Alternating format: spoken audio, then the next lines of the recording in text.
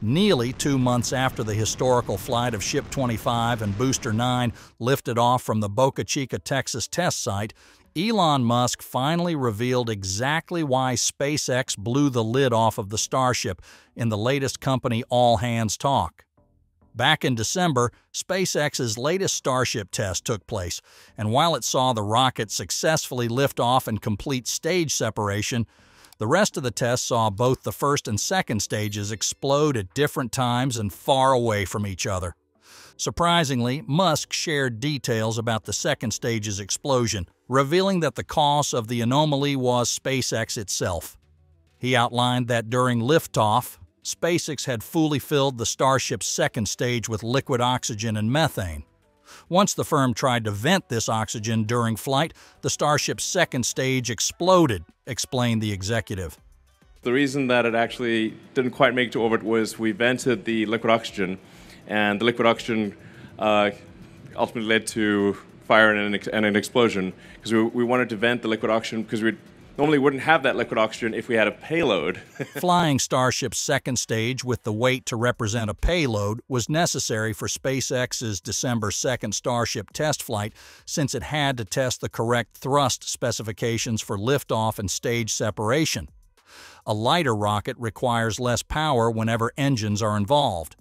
For test launches, depending on the objectives, it has to match flight specifications to ensure performance at the correct requirements. This means that when SpaceX launched Ship 25, it was destined for the prototype to end in flames. In the future, if it had a payload, it would have reached orbit.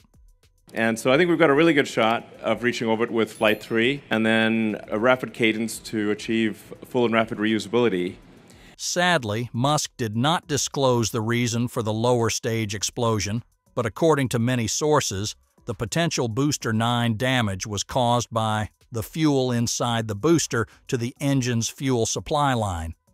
This damage halts the fuel flow, resulting in the aforementioned issue. To better understand this, let's utilize visualization images generated by computational fluid dynamics technology we extend our gratitude to the Space Engineer team for their tremendous efforts in creating these images, which make it easier for everyone to visualize the impact of fuel sloshing. Returning to the issue, just before the engine cut off at T plus 239, there was minimal remaining fuel in both the liquid oxygen and liquid methane tanks, approximately 10%. Despite the significant empty space in the tanks, the fuel remained pooled at the tank's bottom due to acceleration as the booster engines propelled it forward. However, at T plus 239, the outer and middle engines ceased operation, leaving only the three inner gimbal engines active. By T plus 244, the second stage engines initiated, exerting force at the top of the booster, reducing its thrust.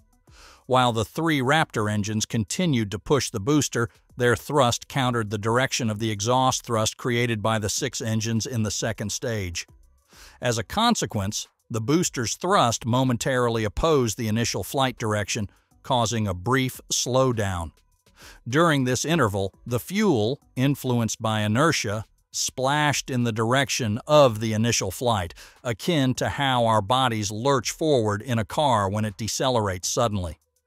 The remaining fuel splashed freely into the empty space due to this motion. Around T plus 250, the other Raptor gimbal engines were activated, gradually restoring power and thrust to the booster, initiating its acceleration again. However, the booster's thrust countered the movement of the weightless fuel that had just previously splashed. Both the fuel tank and the fuel inlet were previously under immense pressure from tons of fuel the continuous generation of opposing forces resulted in severe sloshing of the fuel against the fuel supply lines. Additionally, the intense vibrations caused the fuel to create numerous gas bubbles, significantly impacting crucial components such as fuel supply lines, turbines, fuel inlets, and pre-combustion elements.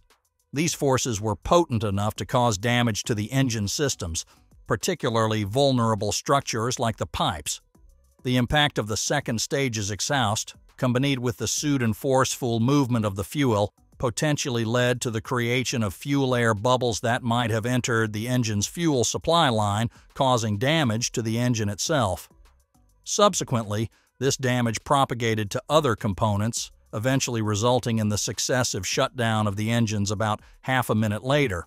This disruption thwarted the planned landing process, compelling SpaceX to activate the self destruct sequence to terminate the booster's journey around T plus 320. We believe that SpaceX will not let these mistakes occur in the next flights. In short, space travel, as has been said again and again and again, is hard. And SpaceX knows that as well as anyone following a build fast, fly fast, fail fast and fly again R&D model that has today made it one of the world's leading launch providers. I mean, the kind of the mind-blowing thing is like there is an actual path that we are on to make life multiplanetary. Can you friggin' believe that? Like, well, imagine a universe in which 1 million human beings have constructed a high-tech civilization on Mars and are living out their lives on the red planet, 225 million kilometers from Earth. If Elon Musk's dream comes true, this will be our universe within the next 100 years. As early as 2040, Musk hopes to have thousands or tens of thousands of people living in a city-like colony on Mars. From there, he hopes to continue to increase the colony's size until it exceeds 1 million people, at which point he believes there will be a sufficient number of people to recreate the entire industrial base, resulting in a sustainable civilization on Mars. Now you might ask, why in the world would he want to do that? The answer is complex and multifaceted, but here's the short version.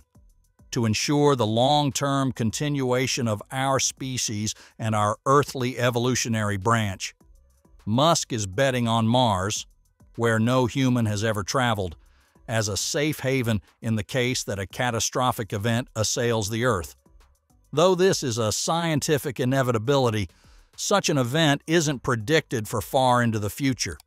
In a billion years, for instance, a swelling sun will scorch our food chain, boil our oceans, and extinguish life on Earth as we know it. And this is the optimistic version of impending Armageddon, writes Aeon's Ross Anderson, barring a more sudden end in the form of a cosmic collision or supernova shockwave. Musk also takes it as an irksome sign that other life forms in the universe have never been identified. Maybe we're in a lab and there's some advanced alien civilization that's just watching how we develop, out of curiosity, like mold in a petri dish. Or alternately, he suggests, it could be that there are a whole lot of dead one-planet civilizations. Either way, in order to increase humanity's chances of survival, Musk is taking a decidedly proactive stance in championing interplanetary travel, and he's somewhat hopeful. Though we are still in the infancy of space travel, he says, at our current rate of technological growth, humanity is on a path to be godlike in its capabilities.